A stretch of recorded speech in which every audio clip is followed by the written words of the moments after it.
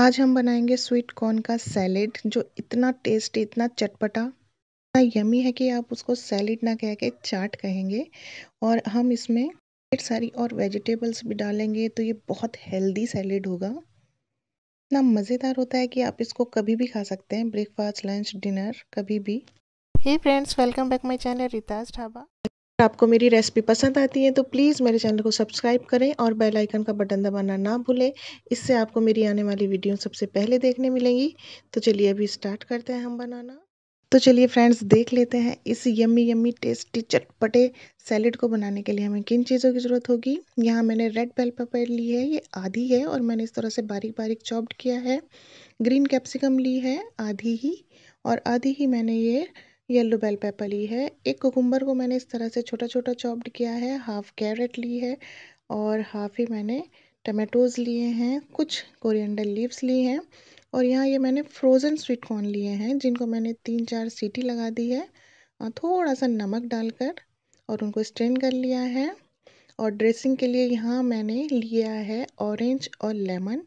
ये किन्नू जो आते हैं, आजकल बहुत स्वीट होते हैं तो मैंने वो लिया है आधा और यहाँ मैंने ये चाट मसाला लिया है, half teaspoon half teaspoon ये भुना हुआ जीरा पाउडर, हाफ़ टी स्पून ये मैंने ब्लैक पेपर ली है और हाफ़ टी स्पून मैंने ब्लैक सॉल्ट और पिंक सॉल्ट लिया है।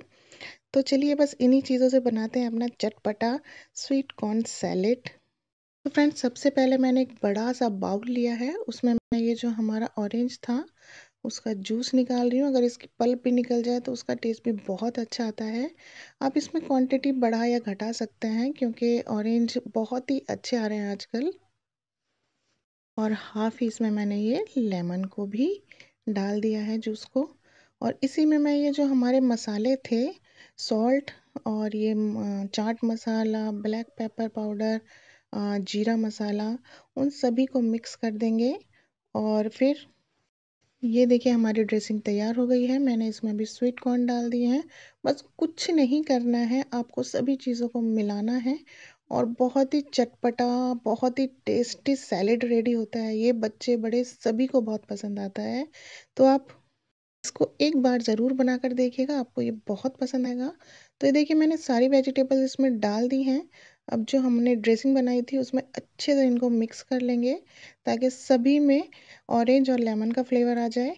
ये देखिए ड्रेसिंग के साथ सभी वेजीज हमारी मिल गई हैं, अच्छे से मिक्स हो गई हैं। तो अभी मैं कैरेट और ग्रीन कोरिएंडर लीव्स डाल रही हूँ और इनको भी हम अच्छे से मिक्स कर देंगे और हमारा जो सैलिड है, वो रेडी हो गया है। और आप इसको ज़रूर ट्राई कीजिएगा, ये आपको बहुत पसंद आएगा, बहुत ही चटपटा, बहुत ही मज़ेदार बनता है ये। आपके घर में सभी बच्चों, बड़ों, सभी को बहुत पसंद आने वाला है। प्लेटिंग के लिए मैं ये लेटेस स्लीव ले रही हूँ। ये भी बहुत हेल्दी होती है, आप इसको ऐसे ही खा सकते हैं। तो ये देखिए कितना सुंदर लग रहा है हमारा सैलेड रंग बिरंगा बच्चे तो कलर देख के ही अट्रैक्ट हो जाएँगे तो बहुत ही पसंद आएगा ये सभी को। और एक ग्रीन कोरिएंडर लीव से इसको मैं गार्निश कर रही हूँ। तो ये देखिए फ्रेंड्स, हमारा चटपटा, मज़ेदार tasty tasty sweet corn salad ready है, ज़रूर ट्राई कीजिएगा, आपको बहुत पसंद आएगा ये, और आपको मेरी रेसिपी कैसी लगी प्लीज़ मुझे कमेंट्स कर कर ज़रूर बताइएगा। आपके कमेंट्स मुझे बहुत मोटिवेट करते हैं, और फ्रेंड्स को मेरी रेसिपी पसंद आती है तो प्लीज़ मेरे चैनल को सब्सक्राइब करें। Thank you take care